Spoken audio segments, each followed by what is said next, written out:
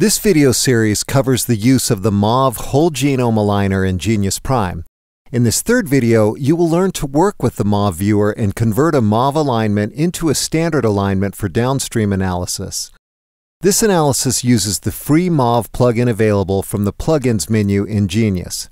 The Mauve alignment document is not a standard alignment document, and downstream applications such as phylogenetic tree building cannot be run directly from this document.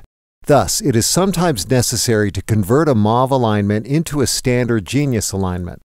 This involves extracting each LCB alignment, then concatenating them to make a single alignment document. To do this, select the alignment of three genomes you created in Exercise 1. Then go to Tools, Extract Mauve Regions. In this example, we only want to extract the aligned regions of the three sequences and not the small regions of the unaligned sequences. So we will set the minimum number of sequences to 3 and the maximum number of sequences to 3. You should now see three new alignment documents, one for each LCB in your document table. In order to concatenate these documents into one alignment, select all three and go to Tools, Concatenate Sequences or Alignments.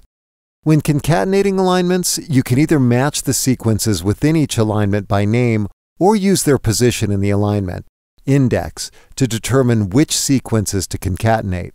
In the three alignments you have extracted from Mauve, you will see that the three sequences are in the same order in each alignment, but their names are slightly different i.e., they have the base numbering appended to the original name. Thus, we need to use concatenate by index and alignment in order to concatenate the alignments correctly. A new alignment document comprised of the three original LCB alignments will be created. On this alignment, you can see the boundaries of the original LCB alignments by turning on the source annotations. You may now wish to use batch rename to shorten the sequence names in the alignment, as they will be very long. This can be shortened to NC009565 by going to Edit, Batch Rename, and removing 96 characters from the end of the name. Note that if one of your genomes is rearranged compared with others in the alignment, the order the sequences are concatenated in will be incorrect for that genome, and information on the rearrangement will be lost. You should be aware of this when using the alignment for downstream applications like tree building.